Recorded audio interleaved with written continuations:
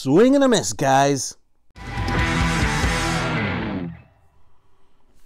Hey, this is Omar Alvarado of All About Rush, and today I want to talk about Rush's misses. Um, they're not their, not their wives. I'm talking about them missing opportunities. Um, yeah, well, that was a bad joke. So during Rush's career, you know, you know, when they their LPs, their records came out, their recordings, and then they did their live concerts, we were always wanting us Rush fans to for them to play certain songs, and you know, ultimately, there was always a group of Rush fans that were disappointed because obviously they couldn't play everything. Um, they had to have their set list that they felt comfortable with, comfortable with, and we'd have to just accept what their uh, set list was. Of course, pretty much every time they nailed it.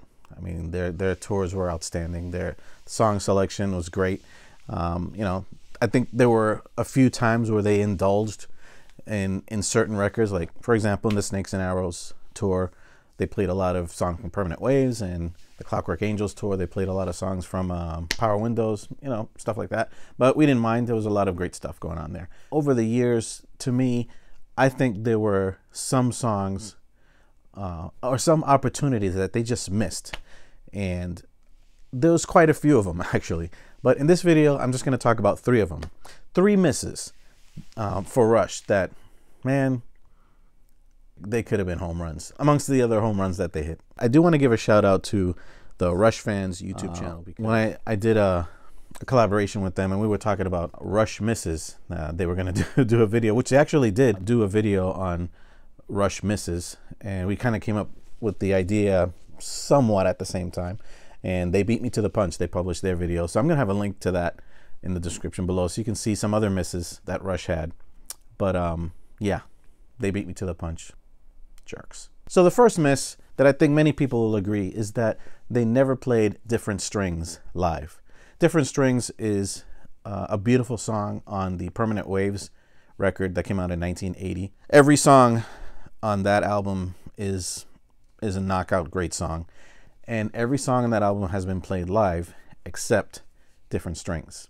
And Different Strings is such a beautiful song. It has a lot of interesting characteristics but I think the thing that many people miss from hearing that song live is like the extended an extended solo at the end.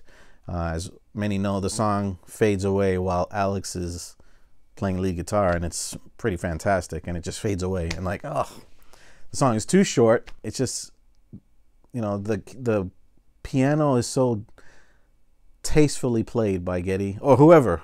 I don't know if it's Geddy actually who plays piano on that song. I have to I'll probably confirm it in the comments or maybe I'll confirm it over here. In any case, you know, beautiful lyrics. It's, it's a fan favorite. They never played it live. So to me, that's one of Rush's great misses in their career, not having played different strings live. Another one of Rush's great misses that I think is that they never played the whole Fear anthology live. Now, I say the Fear anthology because I think we have to stop saying the Fear trilogy because it's not a Fear trilogy, it's a Fear anthology. It used to, it was a Fear trilogy for a long time. For example, what I'm talking about, uh, for those maybe who are not in the know, Rush wrote three songs on three consecutive records as part of a trilogy. And they started with part three first, then they did part two, and then part one. So part three of Fear was Witch Hunt on Moving Pictures. And then part two of Fear was in the next record, Signals. The song was The Weapon. And then part one of Fear came out on the Grace Under Pressure record, and that song was The Enemy Within. So they did it in reverse order, three, two, one.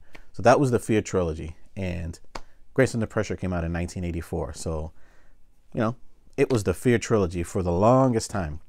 Then Vapor Trails comes out in 2002. Lo and behold, there's a part four of Fear. It's called Freeze. And that's a great song, actually. And my hope was that they would have played the Fear anthology now. No longer a trilogy, it's an anthology. The Fear anthology on the Vapor Trails tour. And they didn't do it. They didn't play Freeze uh, live ever. And I think that was a miss. That would have been a great opportunity. Or maybe even in the next tour. Who knows? It would have been a great opportunity to play the whole the story of fear, the fear anthology as I call it. Would have been um, fantastic. Would have been fantastic. And probably they could have thrown songs like Double Agent or Nocturne before the Fear anthology because it would just set such a, a such a brooding mood uh, for the topic of, of that anthology. So uh, the second miss that Rush had in their career that they could have capitalized on and would have been a great thing was playing the whole Fear anthology on the Vapor Trails tour.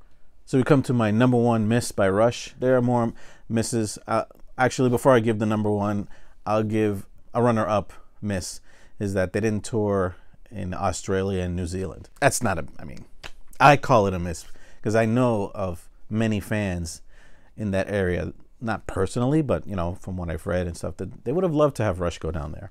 Uh, but they just never, never got the opportunity to. So the number one miss of Rush to me is that they didn't play Losing It during the Clockwork Angels tour. Losing It is the is the song on Signals where it featured a violin in the song.